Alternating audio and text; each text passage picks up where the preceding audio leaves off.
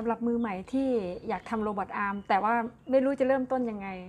คลิปนี้อึงมีแนะนำวิธีการเรียนรู้แบบง่าย ๆ จะเป็นยังไง เดี๋ยวเราไปชมกันเลยค่ะ มีเพื่อนๆ inbox มาถามหลายคนเหมือนกันนะคะว่าเอ๊ะถ้าเราไม่มีพื้นฐานเลยเนี่ยเราจะเริ่มต้นจากอะไรก่อน การทำ robot arm อาศัยความรู้ 3 ส่วนด้วยกันนะคะก็คือความรู้ทางด้านเครื่องกลอิเล็กทรอนิกส์แล้วก็ความรู้ทางด้านโปรแกรมวันนี้ก็จะมาโฟกัสในเรื่องของการต่อวงจร แล้วก็การเขียนโปรแกรมนะคะ ซึ่งจะมีแนะนำเพื่อนๆ 3 ข้อด้วยกันนะคะก็คือข้อที่1เนี่ยอยากให้เพื่อนๆเรียนรู้เจ้าตัวบอร์ด Arduino ก่อนนะคะเพราะว่าตัวนี้ก็จะเป็นพื้นฐานแล้วก็มีคนที่สอนใน YouTube ในต่างๆ เยอะแยะมากมายเลยนะคะ ซึ่งซอฟต์แวร์ที่อยากแนะนำให้เพื่อนๆ ได้ใช้ก็คือก็คืออในส่วนของซอฟต์แวร์ Tinkercad นะคะ ซึ่งซอฟต์แวร์ตัวนี้เพื่อนๆ ไม่จำเป็นต้องซื้ออุปกรณ์ ทางอิเล็กทรอนิกส์มาทดลองนะคะก็จะทำให้ประหยัดค่าใช้จ่าย เพราะว่าตัวโปรแกรมเองเนี่ยมี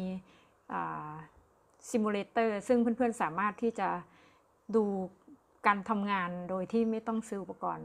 ภายในส่วนของข้อที่2นะคะก็คือให้เพื่อนๆทำการซื้อ อุปกรณ์มาทดลองใช้เลยนะคะ ก็คือสิ่งที่ต้องซื้อจะมีในส่วนของบอร์ด Arduino นะคะแล้วก็ในส่วนของ ESP 8266 นะคะแล้วก็ถ้าเพื่อนๆทำ robot arm เนี่ยสิ่งสำคัญก็คือชุดของ Servo Motor นะคะ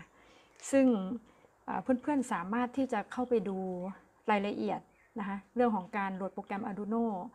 การอ่า install โปรแกรม ESP8266 เนี่ยมีสอนทั้งใน YouTube แล้วก็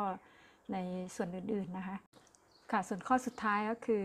ทำโครง robot arm เลยนะคะค่ะเห็นไหมคะว่าเพื่อนๆสามารถเรียนรู้ได้ง่ายๆงั้นเพื่อนๆลงมือทำได้เลยนะคะ ถ้าคลิปนี้มีประโยชน์ฝากเพื่อนๆ กดไลค์กดแชร์ เพื่อนๆสามารถเข้าไปดูเพิ่มเติมได้ที่เพจทำ robot ง่ายๆ สไตล์หางอึ่งแล้วพบกันคลิปหน้านะคะ สวัสดีค่ะ